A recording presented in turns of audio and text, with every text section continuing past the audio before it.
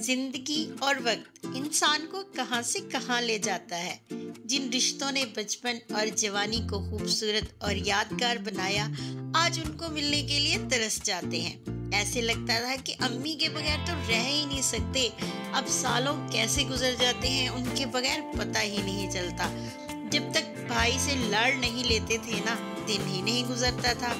और याद है वो अम्मी का कहना कि कभी कोई काम खुद भी कर लिया करो।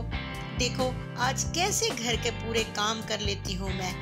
वो डरते डरते अब्बू से हर काम की इजाज़त लेना और आज सारे फैसले कैसे खुद ही कर लेते हैं हम।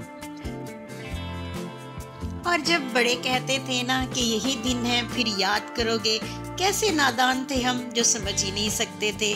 लेकिन वक्त ने बताया कि वाकई वही तो दिन थे, मेरे बचपन के दिन।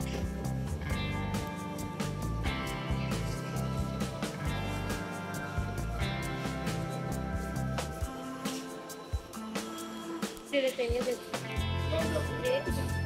वाली लेंगे ये वाली हाँ कोई मैं देखूँगी ये भी ये एक दो और ये कलरफुल एक दो और ये तीन नहीं नहीं एक और किस्म की मिठाई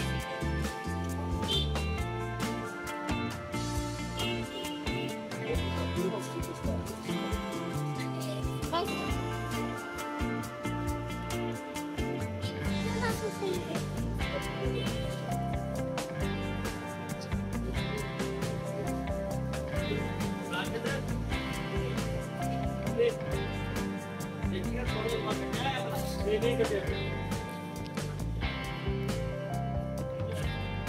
ये मैं अपने पैसे खुद दूँगी।